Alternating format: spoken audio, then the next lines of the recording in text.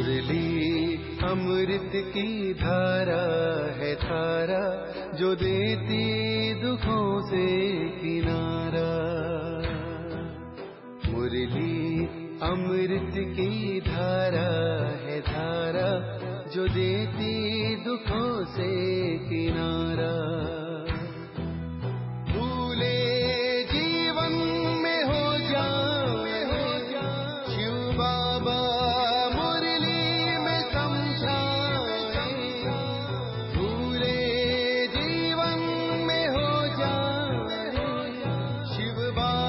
ओम शांति। आज की तारीख है 6 नौ 2024 के बाबा के साकार महावाक्य। मीठे बच्चे, तुम्हारी ये पढ़ाई सोर्स ऑफ़ इनकम है। इस पढ़ाई से 21 जन्मों के लिए कमाई का प्रबंध हो जाता है। बाबा ने प्रश्न पूछा, मुक्ति धाम में जाना कमाई है या घाटा? बाबा ने उत्तर दिया, भक्तों के लिए यह भी कमाई है, क्योंकि आधा कल्प से शांति शांति मांगते आए हैं। बहुत मेहनत के बाद भी शांति नहीं मिली। अब बाप द्वारा शांति मिलती है, अर्थात मुक्ति धाम में जाते हैं। तो यह भी आधा कल्प की मेहनत का फल हुआ, इसलिए इसे भी कमाई कहेंगे। घाटा नहीं। तुम बच्चे तो जीवन मुक्ति में जाने का पुरुषार्थ करते हो। तुम्हारी बुद्धि में अभी सारे वर्ल्ड की हिस्ट्री ज्योग्राफी नाच रही है। ओम शांति। मीठे मीठे रूहानी बच्चों को रूहानी बाप ने यह तो समझाया है कि रूह ही सब कुछ समझती है। इस समय तुम बच्चों को रूहानी दुनिया में बाप ले जाते हैं। उनको कहा जाता है रूहानी देवी दुनिया। इसको कहा जाता है जिस्मानी दुनिया। मनुष्यों की दुनिया। बच्चे समझते हैं, देवी दुनिया थी। वह देवी मनुष्यों की पवित्र दुनिया थी। अभी मनुष्य अपवित्र हैं। इसलिए उन देवताओं का गायन पूज, पूजन करते हैं। यह स्मृति है कि बरोबर पहले झाड़ में एक ही धर्म होगा। विराट रूप में झाड़ पर भी समझाना है। इस झाड़ का बीज रूप ऊपर में है। झाड़ का बीज है बाप, यानी कि परम पिता परमात्मा। फिर जैसा बीज, वैसा फल, अर्थात पत्ते निकलते हैं। यह भी वंडर है ना, कितनी छोटी चीज़, कितना फल देती है। कितना उनका रूप बदलता जाता है, इस मनुष्य सृष्टि रूपी झाड़ को कोई नहीं जानता। इसको कहा जाता है कल्प वृक्ष। इसका बस गीता में ही वर्णन है। सब जानते हैं, गीता ही नंबर वन धर्म का शास्त्र है। शास्त्र भी नंबर वार तो होते हैं ना। कैसे नंबर वार धर्मों की स्थापना होती है, यह भी सिर्फ़ तुम ही समझते हो। और कोई में भी यह ज्ञान होता नहीं, क्योंकि जो सच्चा ज्ञान है, वो सिर्फ़ एक परमपिता परमात्मा ही दे सकते हैं। कोई गुरु गुसाई नहीं दे सकते, सिर्फ़ भगवान खुद हमें पढ़ा रहे हैं, खुद ज्ञान दे रहे हैं। उनका ज्ञान तो हमेशा सत्य ही बोलेंगे। तुम्हारी बुद्धि में है पहले पहले किस धर्म का झाड़ होता है? फिर उनमें और धर्मों की वृद्धि कैसे होती है? इसको कहा जाता है विराट नाटक। बच्चों की बुद्धि में सारा झाड़ है। झाड़ की उत्पत्ति कैसे होती है? मुख्य बात है यह। देवी देवताओं का झाड़ अभी नहीं है और सब टाल टालियाँ खड़ी हैं। बाकी आदि सनातन देवी देवता धर्म का फाउंडेशन है। नहीं, यह भी गायन है। एक आदि सनातन देवी देवता धर्म की स्थापना करते हैं, बाकी और सब धर्म विनाश हो जाते हैं। अभी तुम जानते हो कितना छोटा सा देवी झाड़ होगा, फिर और सब इतने धर्म होंगे ही नहीं। झाड़ पहले छोटा होता है, फिर बड़ा होता जाता है। बढ़ते बढ़ते अभी कितना बड़ा हो गया है अभी इनकी आयु पूरी होती है। इनसे बनैन ट्री का मिसाल बहुत अच्छा समझाते हैं।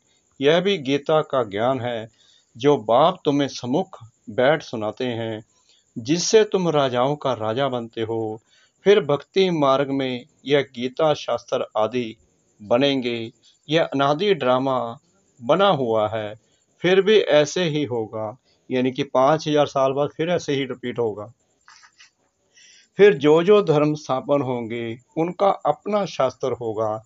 सिख धर्म का अपना शास्त्र, क्रिश्चियन और बौद्धियों का अपना शास्त्र होगा। अभी तुम्हारी बुद्धि में सारे वर्ल्ड की हिस्ट्री जोग्राफी नाच रही है। बाबा कह रहे हैं, अभी तुम्हारी बुद्धि में सारे वर्ल्ड की हिस्ट्री जोग्राफी नाच रही है। बुद्धि ज्ञान डांस कर रही है। तुम सारे झाड़ को जान गए हो। कैसे कैसे धर्म आते हैं, कैसे वृद्धि को पाते हैं, फिर अपना एक धर्म स्थापन होता है, बाकी खलास हो जाते हैं। गाते हैं ना, ज्ञान सूर्य प्रकटा।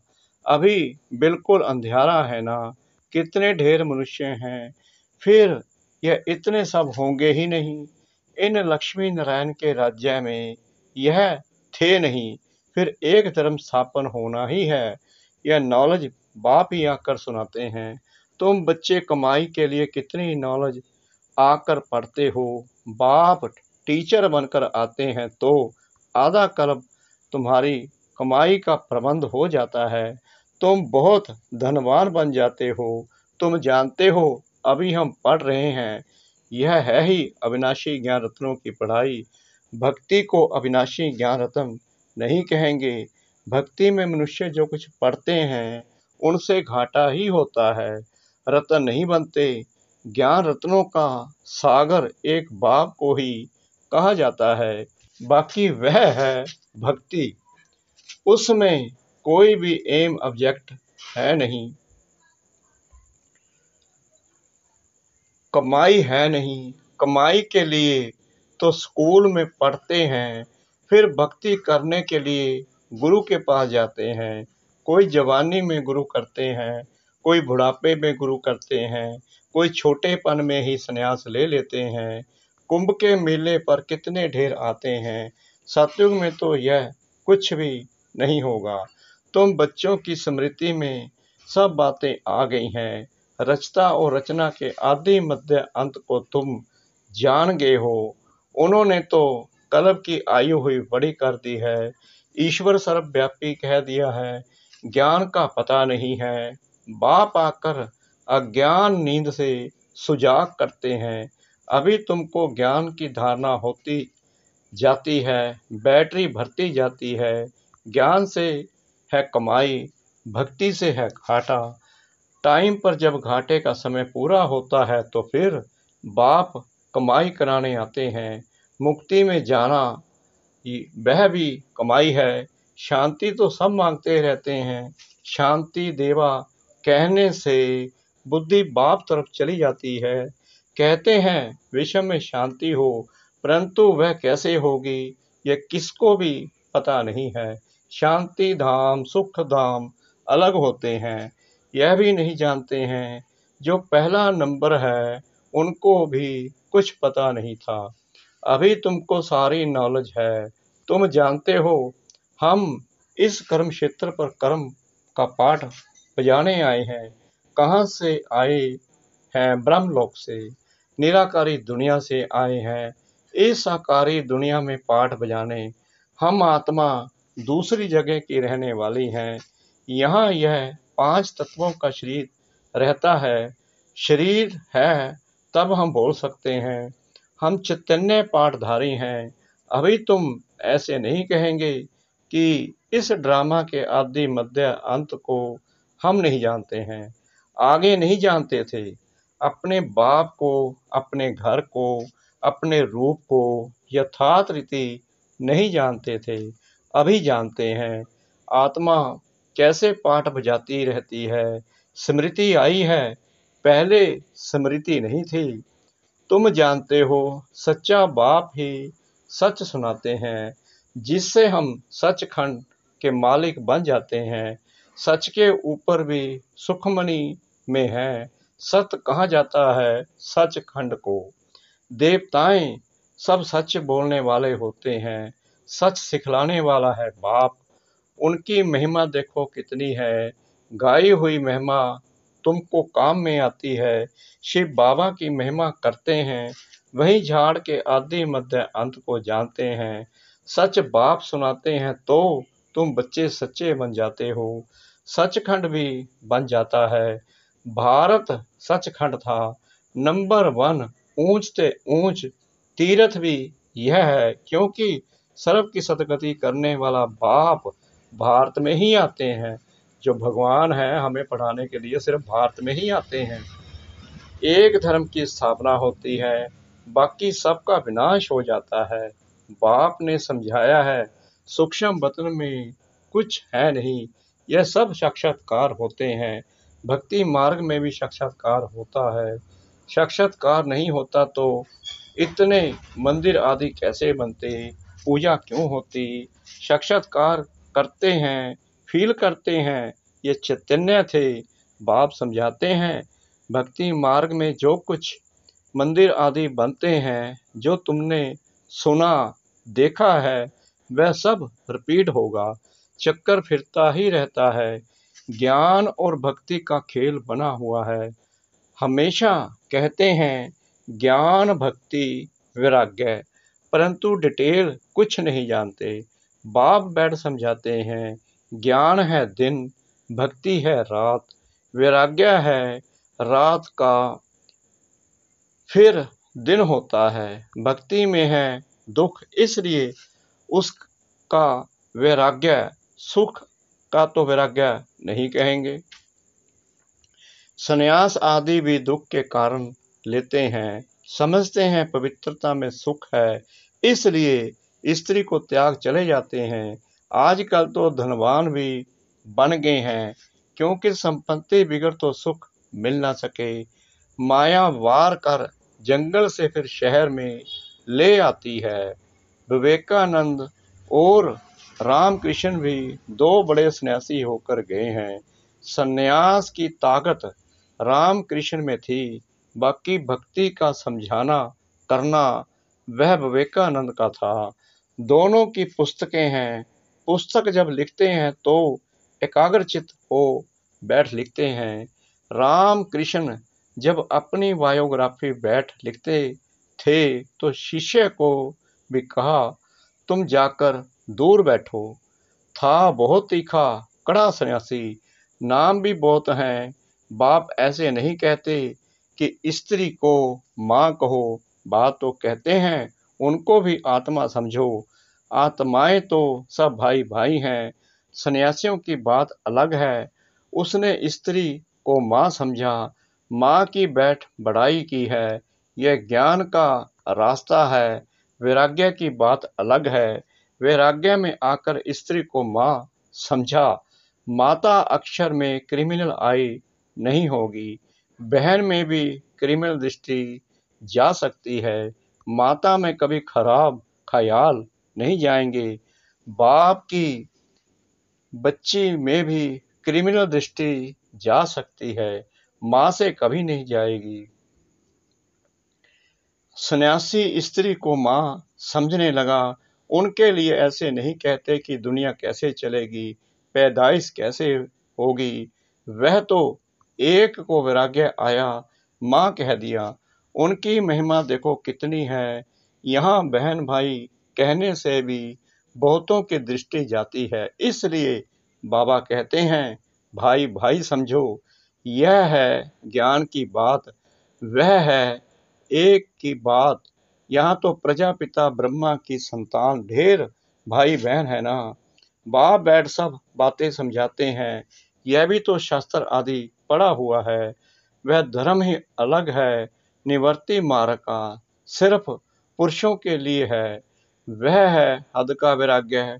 तुमको तो सारी बेहद की दुनिया से वैराग्य है। संगम पर ही बाप आकर तुम्हें बेहद की बातें समझाते हैं। अभी इस पुरानी दुनिया से वैराग्य करना है। यह बहुत पतीत छीछी दुनिया है। यहाँ शरीर पावन हो न सके। आत्मा को नया शरीर सतयुग में ही मिल सकता है। बल यहाँ आत्मा पवित्र बनती है, परंतु शरीर फिर भी अपवित्र रहता है। जब तक कर्मातीत अवस्था हो, सोने में खाद पड़ती है तो जेवर भी खाद वाला बनता है। खाद निकल जाए तो जेवर भी सच्चा बनेगा। इन लक्ष्मी नारायण की आत्मा और शरीर दोनों सतो प्रधान है। तुम्हारी आत्मा और शरीर दोनों ही तमो प्रधान काले हैं। आत्मा काम चिता पर बैठ काली बन गई है। बाप कहते हैं फिर हम आकर सावरे से गोरा बनाते हैं। यह ज्ञान की सारी बात है। बाकी पानी आदि की बात नहीं, सब काम चिता पर बैठ पतीत बन पड़े हैं। इसलिए राखी बंधवाई जाती है कि पावन बनने की प्रतिज्ञा करो। बाप कहते हैं, हम आत्माओं से बात करते हैं।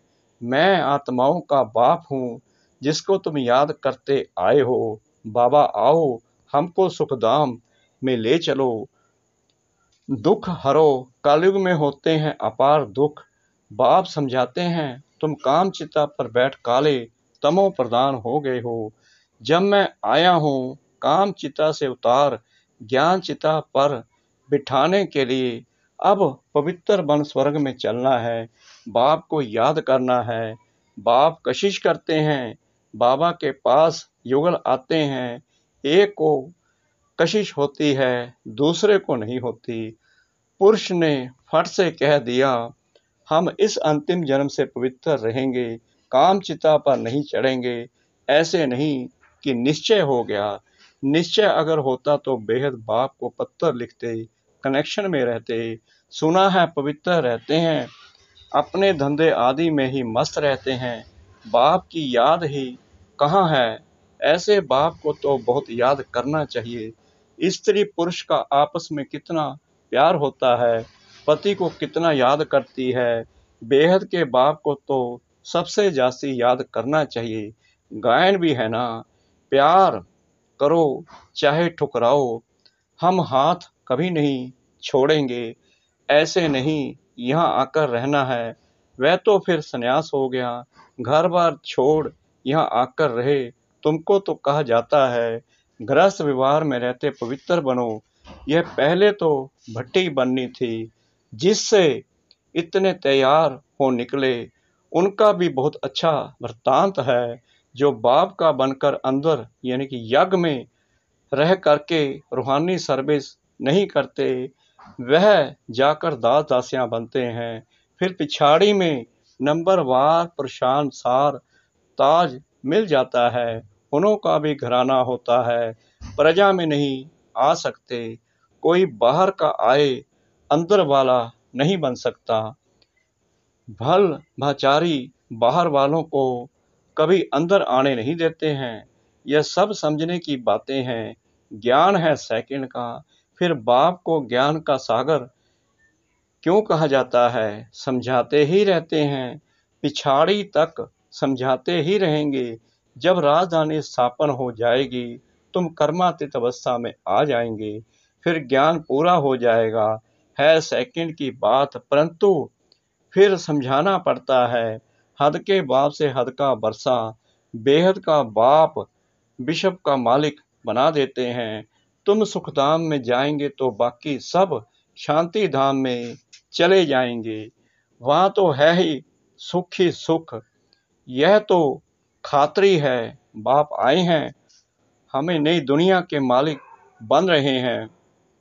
राजयोग की पढ़ाई से अच्छा मीठे मीठे सिकला दे बच्चों प्रति मात पिता बाप दादा का याद, प्यार और गुड मॉर्निंग रूहानी बाप की रूहानी बच्चों को नमस्ते।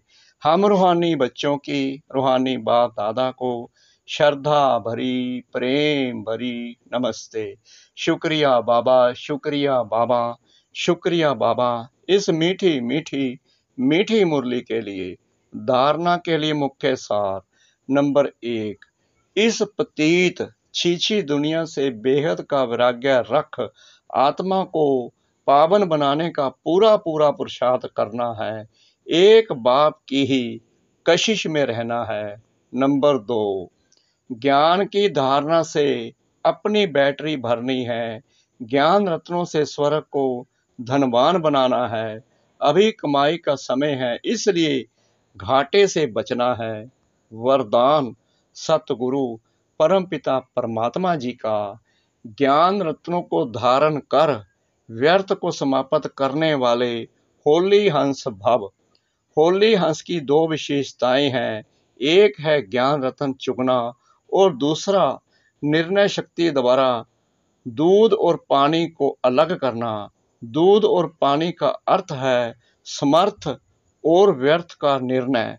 व्यर्थ को पानी के समान कहते हैं और समर्थ को दूध समान। तो व्यर्थ को समाप्त करना अर्थात होली हंस बनना।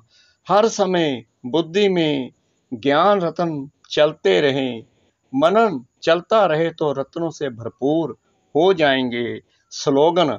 सदा अपने श्रेष्ठ पोजीशन में स्थित रह अपोजिशन को समाप्त करने वाले ही विजयी आत्मा है। सदा अपने श्रेष्ठ पोजीशन में स्थित रह अपोजिशन को समाप्त करने वाले ही विजयी आत्मा है। ओम शांति।